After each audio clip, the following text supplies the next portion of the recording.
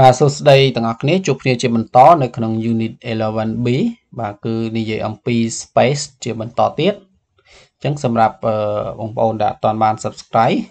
នៅ channel ខ្មែររៀនអាច subscribe នៅ channel ខ្មែររៀនឬក៏ចូលទៅគេហទំព័រខ្មែររៀនដើម្បីស្វែងរកមេរៀនល្អល្អផ្សេងផ្សេងទៀតណាបាទអញ្ចឹងយើងចាប់ផ្ដើមបន្តទៀតគឺ number 1 work in pairs do you know what system this is can you name any planet in the pictures អឺចូលធ្វើការជាគូតើអ្នកអឺស្គាល់ទេឬក៏ដឹងទេថាតើថានេះគឺជាប្រព័ន្ធអ្វីនេះរូបភាពនេះណាបាទអឺអ្នកអាចដាក់ឈ្មោះភពណាមួយនៅក្នុងរូបភាពហ្នឹងណាបាទយើងមើលនេះសិតតែភព cell planet ទាំងអស់ណាបាទដាក់ឈ្មោះវាមកហើយវាជាប្រព័ន្ធអ្វី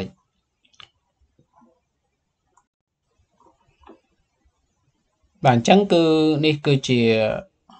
បាទឈ្មោះ planet និយាយពី inner planet គឺមានដូចជាអីគេបាទ Mercury បាទ Mercury Venus Earth ហើយនិង Mars ឃើញទេបាទនេះ Mercury Venus Earth ហើយនិង Mars ណាបាទនេះតមកទៀតគឺ outer ប្រភេទ outer planet នៅខាងក្រៅហ្នឹងគឺមានដូចជាអឺ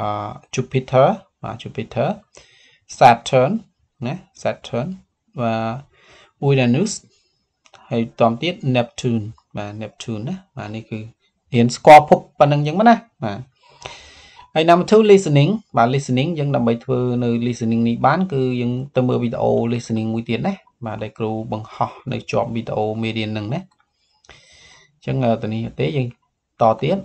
number 3 look at the look box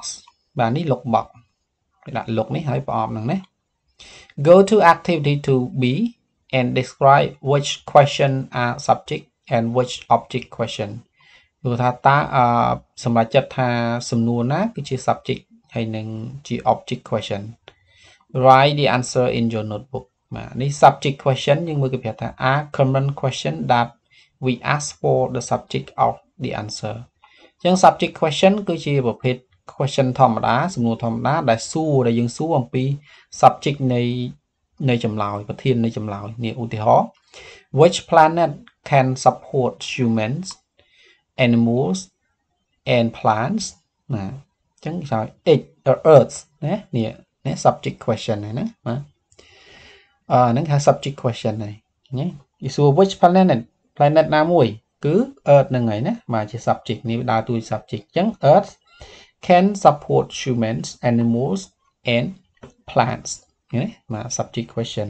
ហើយជាក់ប្រាប់ទៀត earth is the subject of the answer ណាវាគឺជា subject នៃចម្លើយនេះ subject question អានេះជា subject នៃចម្លើយណា subject answer ប៉ុណ្ណឹងយើងចូល object question វិញបាទយើង object question are common question that we ask for the object of the answer នេះនេះ object question ណា អានេះវាដើរតួជា object អានេះវាដើរតួជា subject វិញណានេះ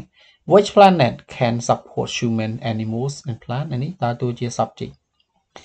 ឃើញទេបាទ subject question ដល់ពេលនេះដើរតួជា object វិញណា object question ថា what do astronaut what do astronaut travel in តើ astronaut នឹងធ្វើដំណើរនៅក្នុងអ្វីអញ្ចឹងថា astronaut travel in spacecraft នេះ object ឃើញទេ វាជា object ថា spacecraft is the object of the answer នេះគឺជា object នៃចម្លើយឃើញទេបាទវានៅក្រោយវិញជា object អានេះនៅមុខជា subject ឃើញទេបាទតែប៉ុណ្្នឹងទេមានអីបាទវាជា subject នៅមុខ object ទៅខាងក្រៅវាយកណាបាទ example object question question 1 subject question អីគេយ៉ាងដែរណាទី4 look at the planets and their facts បាទចូលលេខមើលភពទាំងឡាយហ្នឹងហើយនឹងរឿងពិតបាទរបស់ពួកវាហ្នឹង write one object question ទៅសេជា say object question មួយមក and one subject question for each picture នេះយល់មើល70% of the surface is covered in water 70%នៃផ្ទៃផែនដីហ្នឹងអឺ នៅលើផ្ទៃផែនដីហ្នឹងគឺគ្របដណ្ដប់ដោយទឹកអឺអាចទ្រទ្រង់នៅជីវិតមនុស្សរុក្ខសត្វហើយនិងរុក្ខជាតិនេះនេះ Earth ណាបាទ the furthest planet ភពដែលនៅឆ្ងាយពីព្រះអាទិត្យជាងគេបាទភពអី is the coldest planet in the solar system គឺជាភពដែលត្រជាក់បំផុតនៅក្នុងប្រព័ន្ធព្រះអាទិត្យណា the four planet from the sun គឺជាភពទី4រាប់ពីព្រះច័ន្ទមកណាអពីព្រះអាទិត្យ is named after the Roman god of war បាទវាត្រូវបានដាក់ឈ្មោះឬក៏ឲ្យឈ្មោះក្រោយពីបន្ទាប់ពីព្រះនៃសង្គ្រាមបាទ god ហ្នឹងព្រះនៃសង្គ្រាមជនជាតិ Roman ហ្នឹងអឺនេះ the closest planet to the sun គឺជាភពដែលនៅជិតជាងគេ ទៅនឹងភពព្រះអាទិត្យ មើលមើលនេះចង់ឆេះណាបាទ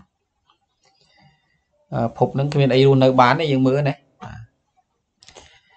uh, is the second hottest planet in the solar system បាទគឺជាភពដែលក្តៅបំផុតជាងគេទី2នៅក្នុងប្រព័ន្ធព្រះអាទិត្យវាបន្ទាប់ពីព្រះអាទិត្យគឺមកគឺភពហ្នឹងឯងក្តៅណាបាទអញ្ចឹងយើងរៀនឆាតសរសេរមកណា subject question ហើយនិង object question បាទអញ្ចឹងយើងអាច check មើលណាបាទអញ្ចឹងនេះគឺ earth ភពផែនដីយើងដឹងហើយ70%នៃផ្ទៃដីហ្នឹងគឺគ្របដណ្ដប់ដោយទឹក subject question យើងអាចថា what can support the lives of humans animals and plants អញ្ចឹងដល់ពេល object question វិញយើងអាចថា which uh, what is 70% of the earth surface cover in ហ្នឹងមកណាបាទ Neptune បាទនិយាយពី Neptune វិញភពនេះ which subject question which planet is the furthest planet from the sun ដល់ពេល object question what is Neptune known as uh, Mars subject question which planet is the fourth planet from the sun ពេល object question what is the Mars named after ណា Mercury បាទភព Mercury វិញ subject question which planet is the closest to the sun គឺភពណាដែលនៅជិតជាងគេទៅនឹងភពព្រះអាទិត្យ uh, what is the second hottest planet in the solar system នេះនេះជា map object question នេះអញ្ចឹងណាអញ្ចឹង question វាមានប្រភេទ subject question object question អញ្ចឹងណាបាទអឺរៀនបង្កើតទៅណាបើអត់យល់យើង play មើលម្ដងហើយម្ដងទៀតអញ្ចឹងទៅតទៀតអត់សូវនេះមិនយើងបន្តទៀតលឿនតិចណា Write subject and object question for each answer in the table គេគេឲ្យ say subject question ហើយនិង object question នេះខាង subject question នេះខាង object question ជាង subject question ask for the subject of the answer សួរជាប្រធាននៃចម្លើយណាដល់ពេល object question សួរជាសម្រាប់ object នៃចម្លើយនេះអញ្ចឹងយើងមើល subject question ហ្នឹង Robert Goddard launched the first ever known rocket in 1926 ចានេះ subject នេះអានេះ object ហើយបង្កើតមក who launched នេះសួរ Robert ជា subject អញ្ចឹងគេសួរជា subject question វិញគឺ who who នឹងណានេះ Robert ហ្នឹងឯណាបាទ who launched the rocket បាទគឺ Robert ណាបាទ Robert Goddard ហ្នឹងហើយដល់ពេល object នេះ first ever known rocket in 1976 object question ហ្នឹងអឺ what did Robert បាទណា what did Rob Robert Goddard launched in បាទគាត់អីគេនៅក្នុង1969ហ្នឹងអីគេណា uh, the first ever known rocket នេះណាសួរអីគេគឺ rocket នេះណាបាទ អឺអានេះតទៀត up until 2020 2020 there are 6 US flag planet on the moon by the Apollo Apollo ហ្នឹងហើយណា astronaut Two, the planet Venus is named after the Roman goddess of beautiful បាទចាស់ស្ត្រីនៃសម្រស់អញ្ចឹងទៅណាជនជាតិ Roman ហ្នឹងអញ្ចឹងដាក់មក1 2 1 2 បាទអញ្ចឹងនេះយើង check ចម្លើយមកណាអញ្ចឹង1ហ្នឹងគេដាក់ថា who planted the US flags on the moon 2 uh what planet is named after the Roman goddess of beauty ណានេះ how many US flags are there យ៉ាងណាណាបាទ two what is Venus named after អញ្ចឹងដាក់មកអញ្ចឹងមកណាបាទអឺ number 6 គេឲ្យ go uh, make subject and object question បាទមេរៀននេះបាក់យល់តិចណាតែព្យាយាមទៅ uh to ask your partner for missing information បាទគេឲ្យមើលទំព័រ191 192សិស្ស A មើល191សិស្ស B មើល192យ៉ាងមកហើយនេះ who is well known in history as the first man to set foot on the moon នរណាគេដែលល្បីនៅក្នុងប្រវត្តិសាស្ត្រ ដែលជាបុរសដំបូងដែលឈានជើងចូលនៅឋានប្រច័នមុនគេណានេះគឺ Neil Armstrong ណាគាត់ឃើញឋានប្រច័នមុនគេ Neil Armstrong ណាអឺអានេះអត់អីទេគ្រាន់តែចូលទៅមើលទៅអានទៅស្វែងយល់ទៅណាបាទអញ្ចឹងយើងនៅក្នុងថ្នាក់បើយើងអនុវត្តទៅបាទតែមេរៀននេះបាច់កត់ក៏បានដែរអីទេបាទអញ្ចឹងយើងចប់ហើយមេរៀននេះតែប៉ុណ្្នឹងណាបាទ ខ្លីដែរហើយយើង check understand របស់យើងផងនេះ unhappy neutral happy very happy អញ្ចឹង